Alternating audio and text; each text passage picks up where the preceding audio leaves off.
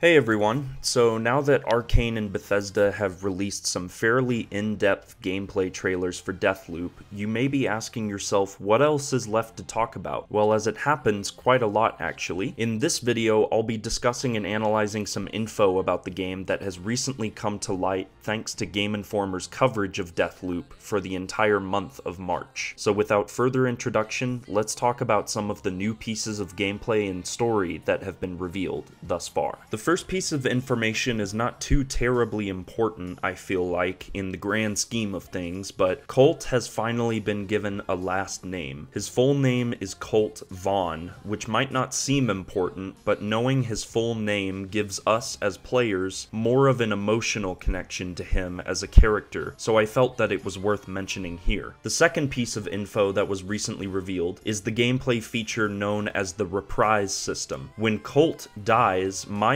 assumption was that that was the end of his journey through each loop, but as it turns out, that is not entirely the case. When Colt dies, he is given two more attempts, better known as lives to most gamers, to complete his objectives on any given loop. Once his three lives have expired, at that point the loop will then reset. I love the idea and addition of this feature because it will significantly reduce the frustration factor of the roguelike die and die again system. To be be able to rewind the clock a few seconds before your death and correct your previous mistake will be an invaluable tool for us as players when we try to break the loop. It was also revealed that by killing Julianna in a given loop, her death will replenish your reprises back to the maximum limit of 3, meaning that actively hunting Julianna as she is hunting you is more appealing to do since there is a major risk reward factor now. Do you risk everything you've accomplished in this loop to kill Julianna and try to soldier on with more reprises? Or will you fold and simply restart the loop on your own terms just to be safe so that you can maintain your weapons and gear? It adds a whole new wrinkle to the moment to moment gameplay that I think we as players will find to be very suspenseful and cathartic. Speaking of suspense, our third piece of info relates to Julianna herself as to how her presence is being incorporated into the multiplayer invasion style system. For those who don't know, but you really should at this point, Deathloop is incorporating for the first time in an Arkane Studios game an adversarial multiplayer component, something that Arkane Studios had previously previously tried to do years ago in their cancelled project known as The Crossing, which you can learn more about if you watch the NoClip documentary on Arkane's history as a studio. Julianna will be the ultimate hunter in Deathloop, actively gunning for you when you play as Colt, and even though she can be controlled by the game's AI based on the player's preference, she can also be controlled by another human player, which will make the cat and mouse interactions that much more exciting. One of the things that was most most notable to me about the Game Informer article, which I will be leaving a link to in the description, is the notion of how the PvP between Colt and Julianna will be balanced gameplay wise, and interestingly, the pendulum will swing in Colt's favor, as Julianna does not have access to that same reprise system that Colt has. This means that anyone playing as Julianna will need to be even smarter and more tactical in their actions than Colt, because if Colt kills you, it's game over. However, something else was mentioned by creative director Dinga Bakaba in this article that further deepens the mystery behind Julianna's story and her character. Essentially, even after you've dispatched Julianna, she still has an opportunity to return later in the day to get her revenge. Dinga elaborates by saying that there is something special about her that makes it possible for her to come back. The other thing I will say is that the fact that you killed her during an invasion doesn't make you progress toward your goal of breaking the time loop. If Julianna is one of the eight visionaries, as we've been led to believe so far, she should have a tether to the anomaly on the island like the rest of them, right? Well, based on what Dinga says here, I'm starting to second guess everything we know about Julianna up to this point. The article continues, additionally, if Colt is in a time and place where none of his targets are around, Julianna cannot invade. This enables Colt to explore and and do other things in preparation for his main mission without fear of being ambushed. However, once Colt goes into an area occupied by a target, Julianna's invasion is fair game. So if Colt isn't going after his quarry, but is instead trying to extract a weapon for future loops, or uncovering clues about the target for future attempts, Julianna's presence adds tension. If she can finish him off, he won't be able to keep that weapon. However, if you find a clue that allows you, for instance, to enter a new area, you've accomplished your goal of finding the tip, and Colt's death won't carry much consequence. Really interesting stuff here. Continuing on, if you're playing as Colt and Julianna invades your game,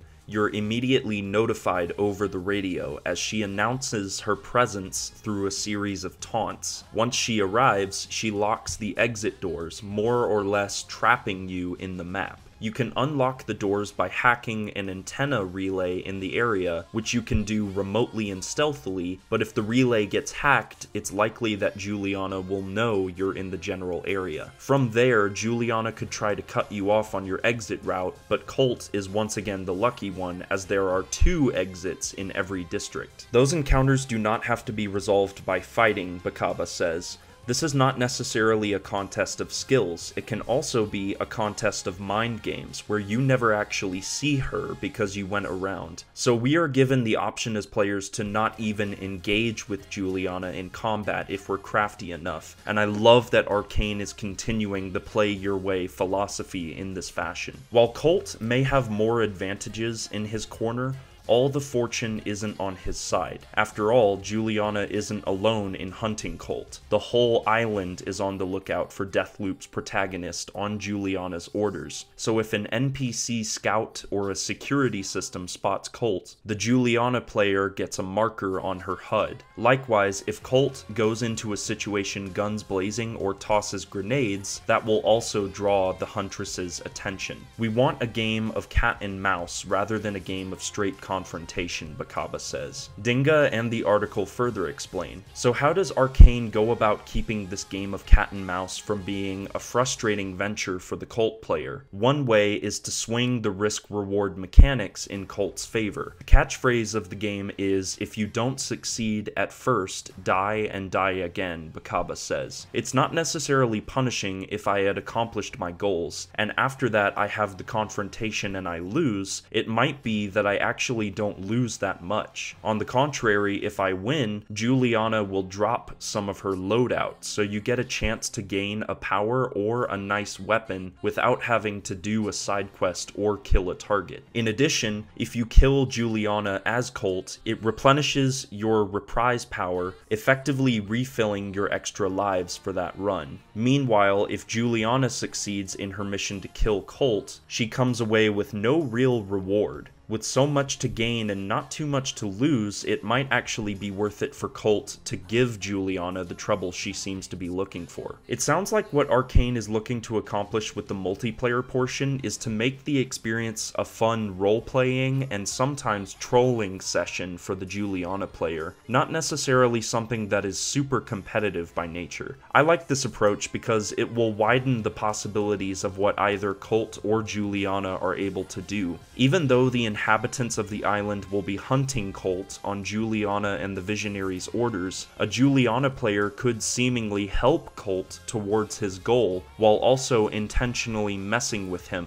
By, for example, clearing out the guards of a Visionary's compound, almost assisting Colt, but when he finally approaches his target, Julianna can finish Colt off, providing an awesomely hilarious story to share with others who have played the game and experienced different things. These water cooler moments are what Arkane Studios are wanting to capture with Deathloop's multiplayer, and I'm all in on that concept. One of the final things I can talk about is the reveal of the names of two of the districts we can explore during the course of the game, as listed in a PlayStation blog article that was released alongside the Deja Vu gameplay trailer, which I will also be linking in the description alongside the Game Informer article. Alexis Dorsey's mansion is located in Updaam, which based on the footage we've seen of this district thus far, seems to be at a higher altitude than the rest of the seaside town. Frank Spicer is located at his base in Fristad Rock, which we saw glimpses of in the Deja Vu gameplay trailer I previously mentioned.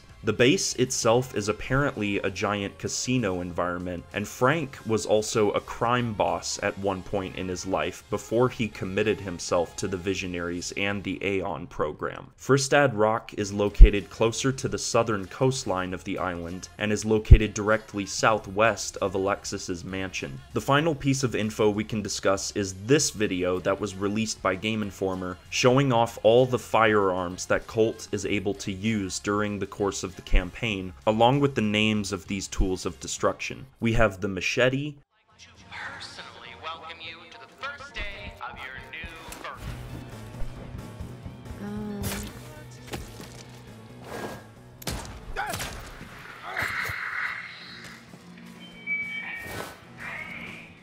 the PT6 Spiker nail gun,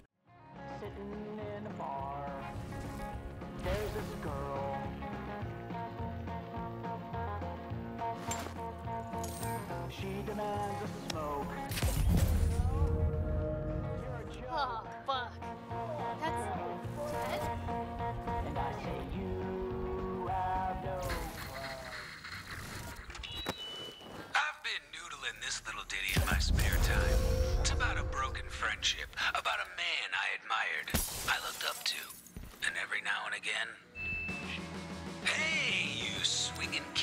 kids, not miss the fireworks tonight.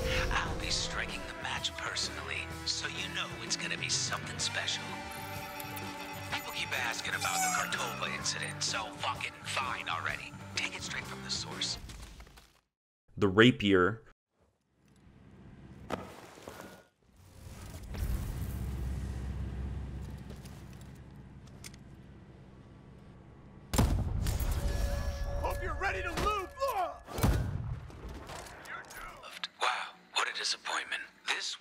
the Strelak 5050.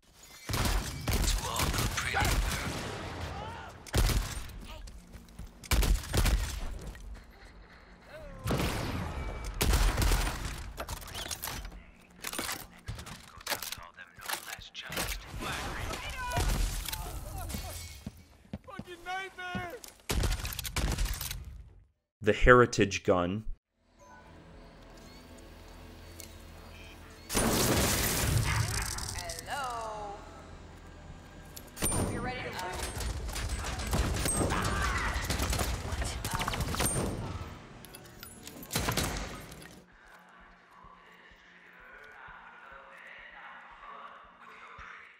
the LIMP-10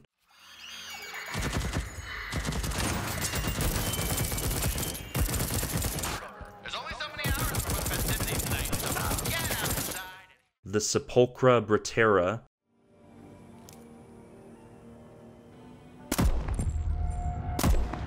the Tribunal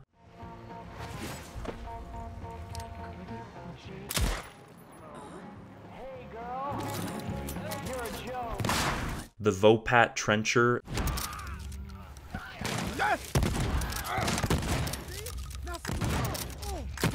and the Four Pounder. Each of these weapons will function differently from the others, and all of them look incredibly fun to use against your enemies. With all of this laid out before you, we've reached the conclusion of this Deathloop video. I've left links in the description to a few other articles about the game that contain some very interesting info that I didn't discuss in this video, so definitely check those out if you're curious. If you enjoyed the video, be sure to share, leave a like, and a comment down below letting me know what you think. Consider subscribing subscribing to the channel for more Deathloop content like this, and be sure to hit that notification bell so you never miss a video. And remember that the outsider walks among us. Thanks for watching.